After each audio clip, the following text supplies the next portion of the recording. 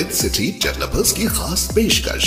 जहांगीर पीर दरगाह से दो किलोमीटर पहले आबादी के बीचों बीच वेंचर छह हज़ार रूपए पर स्क्वायर यार्ड नकद या आसान अकसाद पर। एमएनसी कंपनीज़ जैसे Natco pharma Johnson and Johnson PNG chairman A eighteen Telangana news Mohammed Azam Ali आप सभी का खैर मकदम है ए एटीन तेलंगाना न्यूज़ पर। आज बरोज़ हफ़्ता यानी सैटरडे बतारीख 22 जुलाई का दिन है। आइए देखते हैं ए एटीन तेलंगाना न्यूज़ का ख़ास खबरनामा। बढ़ते हैं आज की अहम खबरों की जानिब। मुकामी माहीगीर ने काकीनाडा के साहिल पर 25 किलोग्राम वजनी काचिडी फ़िश का जाल लगाकर सोना हासिल किया, जिसकी नीलामी में इसे कम्बा भीशी का मछली मंडी में तीन लाख तीस हज़ार रुपये में फ़रोख्त की गई। मछली की किस्म दवाओं की कदरों की हामिल है इसका पिताशी और गोश्त फार्मा कंपनियाँ इस्तेमाल करती है। राजेंद्र नगर पुलिस ने auto ring road Rajendra Nagar ता हिमायत सागर जंक्शन के मुतवाजी सर्विस रोड को हिमायत सागर रिजर्वायर से ज़्यादा पानी छोड़ने के नतीजे में जेरियाब आने के बाद बंद कर दिया है। मूसा नदी में इजाफी पानी छोड़ने के लिए कुल छः दरवाजे उठा दिए गए हैं। पुलिस ने गाड़ी चलाने वालों को सड़क इस्तेमाल करने से रोक दिया है।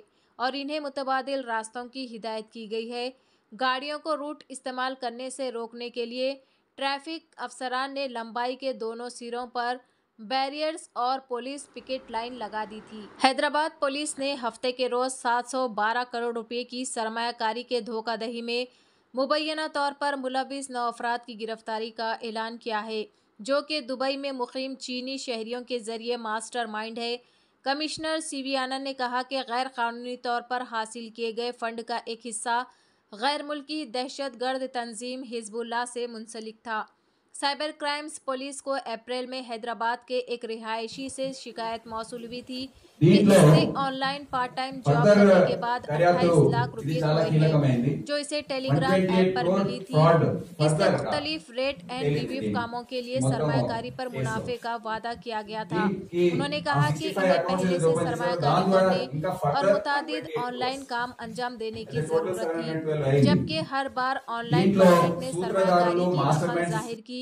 वो मुनाफा वापस नहीं ले पा रहा था और टीम से पूछताछ करने पर इसे आमदनी तक रसाई के लिए मजीद काम मुकम्मल करने के लिए कहा गया।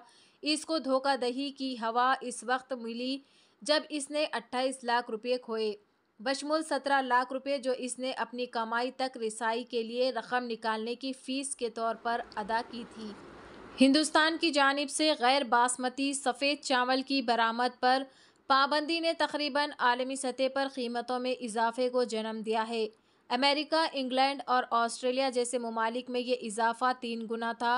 बाज़ ममालिक में मज़ीद इजाफे के खदशात के नतीजे में घबराहट की ख़रीदारी हुई। वो लोग जो चावल को बुनियादी गज़ा के तौर पर इस्तेमाल कर रहे हैं, वो दुकानों और गज़ाई अजनास की सप्लाई चेन्स के सामने बेल लाइन्स बना रहे हैं। ये दुनिया भर में हिंदुस्तानी स्टोर्स के साथ ज़्यादा है।